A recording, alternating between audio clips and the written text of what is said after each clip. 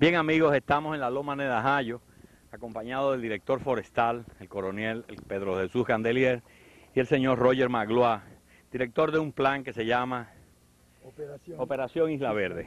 Vamos a dejar que el señor Maglois, que fue que nos hizo subir esa loma, explique en qué consiste el plan. Bien, el plan Isla Verde es un plan de reforestación comunitaria que involucra a la comunidad y la, el sector de la comunidad que nos interesa más es el sector de la juventud de los niños. Tratamos de enseñar a los niños un amor de la naturaleza, una conciencia de lo que es la deforestación, pero también dando a los niños, los futuros ciudadanos de mañana, la oportunidad de hacer algo. Así, el día de la primera charla, cuando todos quieren cambiar el mundo, cambiar el mundo de la Loma de Najayo, cambiar el mundo de Santo Domingo, de la República Dominicana, de la isla, de todo el Caribe, ellos pueden empezar una acción. Y la acción es llenar sus 25 o 50 funditas de tierra negra, colocar las semillas y empezar cada día a, a echar agua, cuidarlos, hasta 3, 4 meses después tener 25, 50 o 100 árboles para la reforestación del país. Así los niños están tomando una iniciativa. ¿Cuántas veces aquí en la Loma hablamos de los políticos y burócratas que hablan y hablan y no hacen nada? Queremos hacer una gran excepción con un, uh, un amigo, el director general forestal, que hoy me puso yo el reforestador, tan cansado, subiendo lomas y lomas, mirando a millones de árboles que Forestal está produciendo en las lomas más retiradas del país. Nuestro esfuerzo es paralelo a la, de, a la acción de Forestal. Enseñar a los niños a cuidar viveros. ¿Quién patrocina esa acción de Isla Verde? A Isla Verde patrocinada por sus miembros, primero. Segundo, por algunos grupos ecológicos en Florida, en Puerto Rico, en Illinois y pronto vamos a visitar a San Martín, Saba, Guadalupe y Martinique que hicieron invitaciones a nosotros. Pero varias uh, personalidades y entidades de aquí mismo, de la República Dominicana, han uh, dado su aporte. Hasta ahora, en esta cuenca del río Nizao, el río más importante de la República Dominicana, tenemos unos mil y pico niños uh, en la lista, la gran mayoría tienen su vivero. Aquí en la Loma es el sector más uh, que tiene más miembros, la Loma de Nayo, y donde empezamos en enero de este año.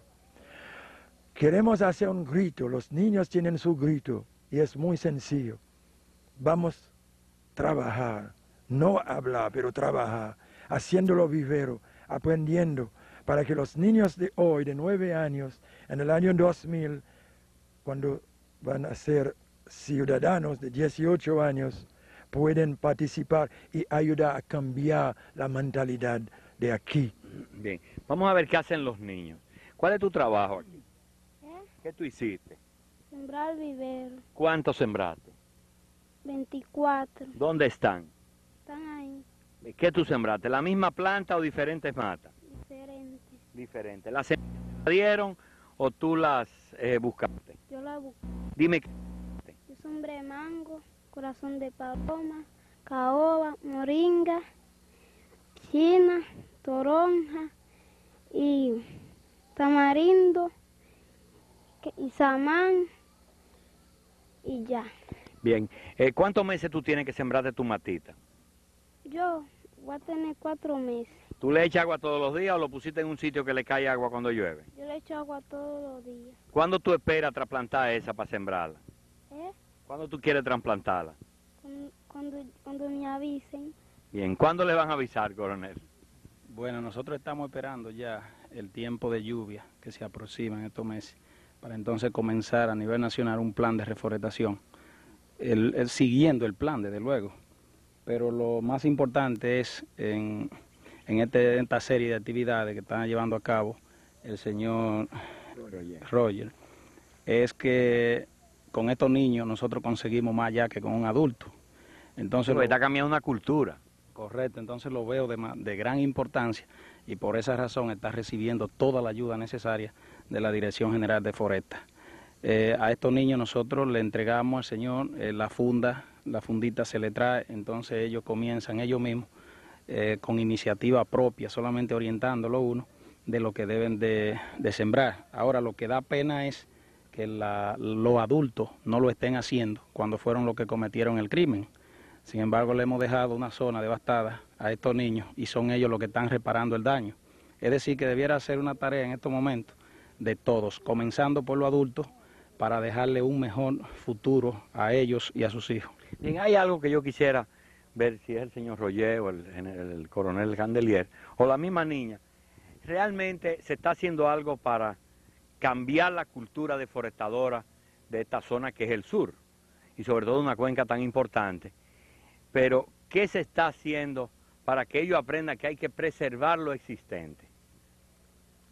Ah, bien, ah, aprendiendo, nosotros hemos uh, encontrado con los niños que cuando aprenden la importancia de sus matas, también dan mucho más importancia a la flora, a la fauna.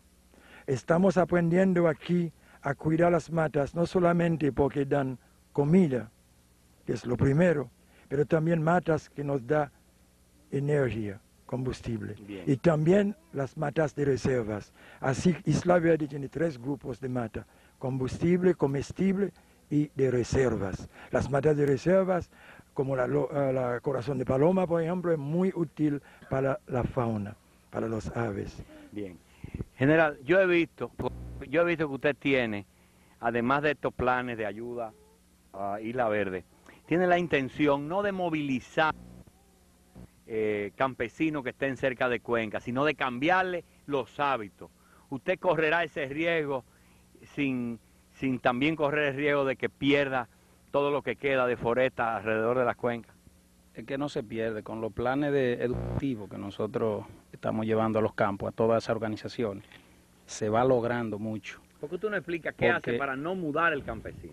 El problema es que la población rural ha crecido demasiado. Y si nosotros obligamos al campesino a desplazarse a la ciudad, estamos trayendo más, problemas sociales a la ciudad. Y lo que debe ser lo contrario. Las personas que han venido a la ciudad, que no están en nada, deben de irse al campo, porque se necesita cultivar el campo. Ahora esa cuenca hidrográfica, nosotros no logramos nada sacando ese campesino que habita ya en esa zona, porque luego si lo sacamos, desplazándolo a otro lugar, buscándole alternativa, desde luego, podemos esperar dentro de poco campesinos entonces nómadas que van a ocupar esos predios que antes lo ocupaba otro. Lo más importante es, y es la política de Foreta, es enseñar al hombre a convivir en ese bosque sin hacer ningún tipo de daño. Hay personas que, por ejemplo, tienen unas 40 o 50 tareas y nosotros hemos conversado con ellos. Vamos a sembrar, ellos van a disponer de un 50% de esos predios para nosotros ir sembrando lo que conviene a la dirección ¿Qué es lo que conviene para mantenerlos ahí sin que corten? Bueno, lo que conviene es eh, una, un sistema agroforestal, es lo que conviene. Es decir, que si al campesino se le pone en sus manos plantaciones frutales y también lo que puede producir, eh, eh, lo que le favorezca a ellos, como son las plantaciones de café o cacao en esa zona principalmente, eso vamos nosotros dentro de poco a ver un bosque eh, que lo necesitamos para producir agua y vamos a tener el campesino que va a ser el principal vigilante de esa zona. No, va a cortar esa no lo va a cortar porque lo está sembrando. Ahora, esos programas han comenzado de la siguiente forma.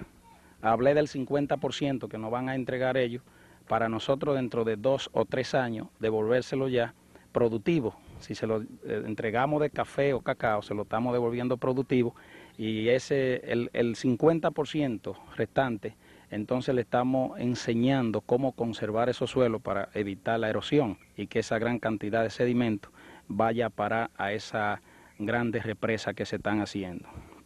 Cuando se le entregue productiva el 50%, entonces pasa el otro 50% para luego eh, hacer la misma operación que en el primero y en el futuro va a tener ese campesino una producción que ha cambiado porque lo que más daño hace a la foresta es la siembra de, de subsistencia que ellos hacen para producir alimentos y esos alimentos no se pueden producir en esa zona de pendiente tan pronunciada porque no hay ningún tipo de amortiguador para evitar que cuando llueve salte la erosión.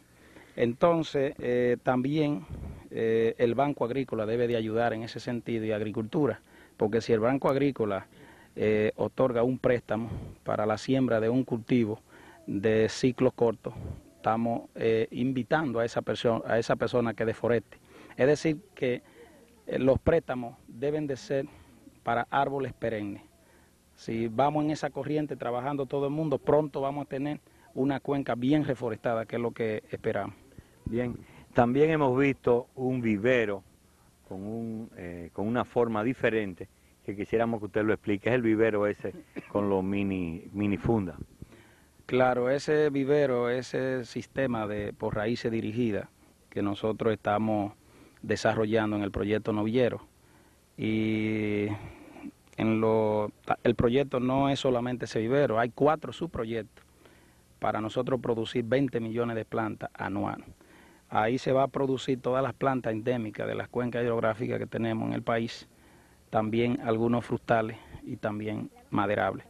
Es decir, que ese sistema nos va a ayudar bastante porque es un sistema que sale eh, a un bajo costo de producción, porque cada plantita la vamos a producir a más o menos nos salen 20 centavos, contrario a producir esa planta. Esa planta sale en 1.25, entonces los costos. También el sistema de transporte más difícil porque un obrero no puede transportar más que unas cuatro plantitas en su mano. Sin embargo, por el sistema de raíces dirigidas se puede transportar hasta 160 plantas. Y la facilidad también para sembrarla, porque con un pullón que va adaptado a las piernas. Entonces puede sembrarse hasta mil plantas en el día el obrero. Es decir, que vamos en ese sentido, vamos a producir más y vamos a sembrar más. Bien, vamos a dar las gracias al director forestal, al coronel Candelier y al profesor eh, Magloire por habernos explicado todas estas cosas. Aquí también hay una persona de la comunidad. ¿Usted quiere decir algo? ¿Quiere decir algo? Sí, sí, cómo no. nosotros hemos iniciado este proyecto con mira a mejorar nuestro sistema y también para que la cuenca y la comunidad aprendan a cultivar sus árboles y los cuiden. También tenemos un proyecto que hemos iniciado desde el día primero de agosto hasta el primero de septiembre, que es una siembra que vamos a hacer al, al, estilo como Israel. Y vamos a empezar con el primer ciudadano del país, con el señor presidente. Estamos produciendo alrededor de 85 mil arbolitos para ser regalados al excelentísimo señor presidente como un obsequio de un bosque especial que vamos a hacer, el, el bosque de los ciudadanos, de las personas importantes, tanto nacionales como internacionales. Y estamos produciendo... ¿Dónde se va a hacer eso? Es posible que elijamos la parte de Galeón, en Baní, que es una, una parte muy árida y deforestada, para comenzar en ese, en ese sitio. ¿Están las plantitas ya? En... Están en crecimiento ya la plantita. Bien, doña, ¿cómo han recibido los padres aquí el, proyecto de que los niños hagan eh, su siembra de, de plantitas de 25 por per cápita? Bueno, hasta el momento la he recibido bien.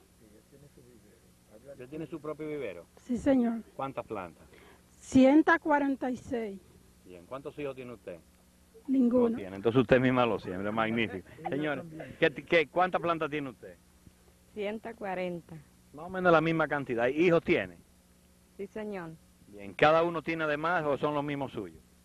Los mismos míos. Bien, gracias. Señores, gracias por haber estado con nosotros aquí en la Loma de... Ajá.